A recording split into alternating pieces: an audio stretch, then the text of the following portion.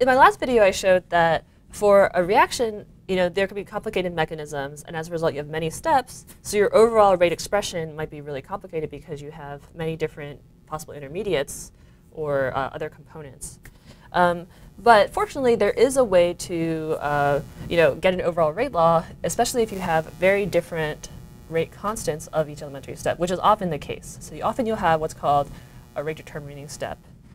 So what I mean by that is, so if we have a reactant A that converts to B, that converts to C, a simple two-step reaction. K1, here's our K2. So just like before, um, we can derive our, our relative overall rates with these elementary steps because we know the stoichiometry of the elementary steps. So what we say is that, let's say, negative dA dt is going to be equal to k1 of A dB dt equals k1 of A minus k2 of B. And dC dt equals k2 of B. Okay, so if we convert these into integrated rate expressions, we can do that. So for the first one, it should be easy. We know that concentration of A at times t should be equal to our initial concentration of A times e to the negative k1 t. Right, so that's simple enough. So we know our initial concentration of A, that's what we put into the reaction, so we know how A over time should go. Uh, compound, or for B, it's a little bit more complicated because now we have two first order rate expressions that will contribute to B. Um, so without showing the math, I'm just going to give you the answer. You probably know math way better than I do. So, but the concentration of B over time is going to be equal to, let's see, K1, the initial concentration of A, over K2 minus K1 times e to the negative k1t minus e to the negative k2t. Okay. So this is because, right, we have two things. Uh, B is being formed first order from A, and then it's being consumed second order. Okay. Or sorry, not second order. First order in B, sorry. First order. That's why it's the exponential. All right. And then lastly, we have C over t. So we could integrate this and expre express this as e to the negative uh, to b concentration of b additional concentrations e to the negative k2t, but b is an intermediate. So let me put as a note,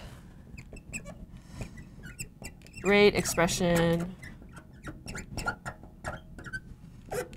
or for the final rate expression, can never include an intermediate.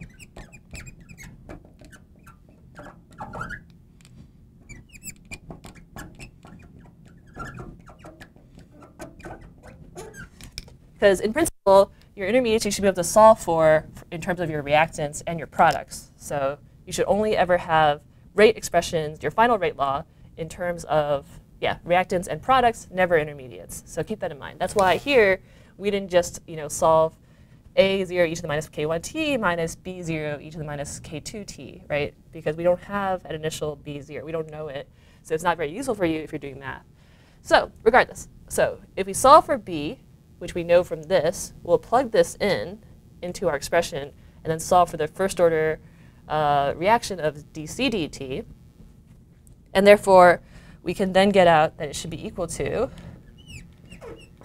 a naught. So we'll get, see, we'll get an expression in terms of a, even though we have it from b, because we can plug uh, you know, different expressions into this final expression here. So it's a0 minus a0 over k2 minus k1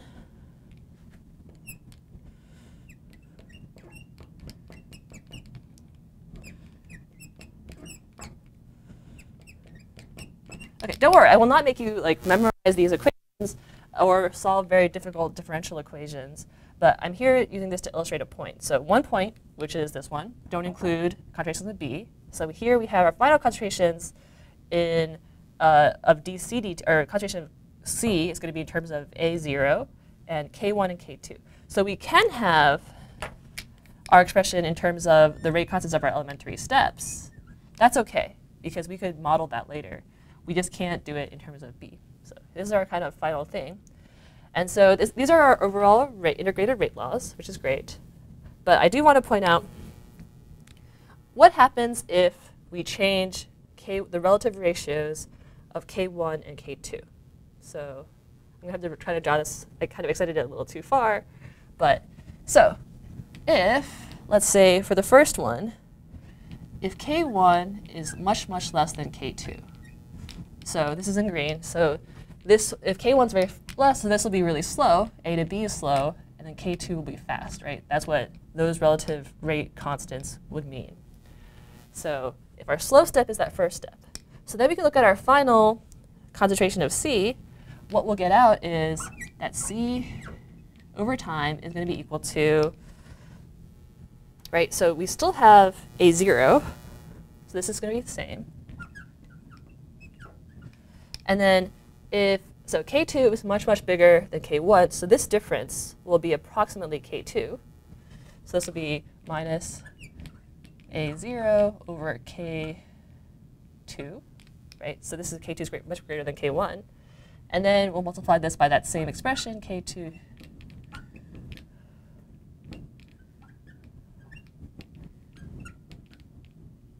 Keep in mind that I can only do this approximation if it's in the denominator.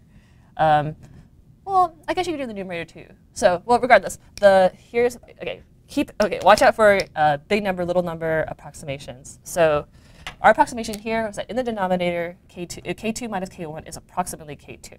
That's our current first approximation here.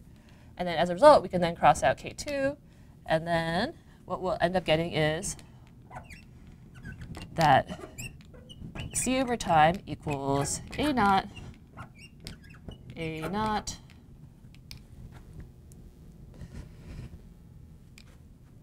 uh, blah, blah, blah, e to the negative k1t minus k1 over k2 e to the negative k2t. Hopefully this isn't cut off. Oh, it's sort of cut off. Okay. So here, k1 over k2, we said that k2 is very, very much bigger than k1. So if you think about it, k1 over k2 is going to be approximately 0 because let's say 1 over 100 is approximately 0. So we'll cross this out. And then therefore our final rate expression, or uh, integrated rate law rather, for C equals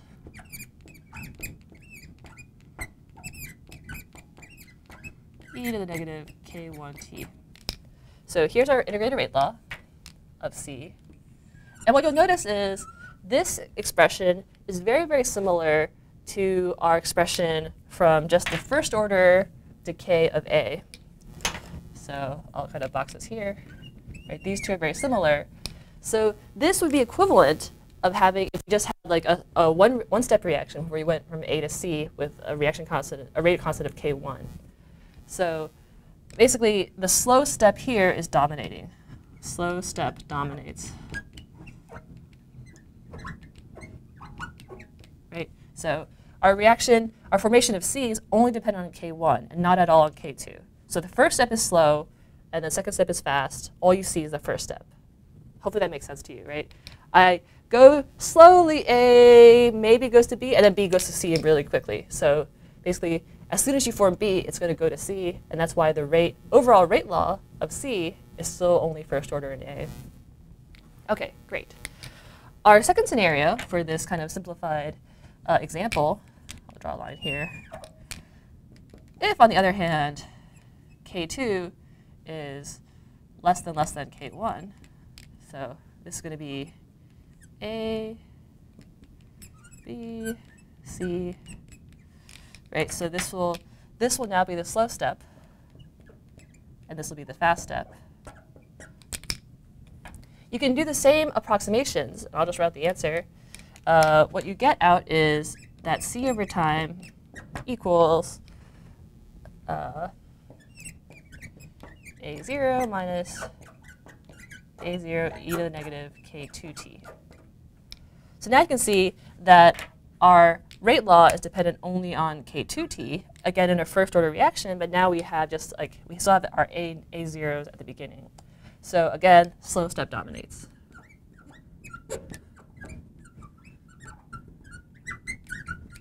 So this is kind of the overall takeaway point.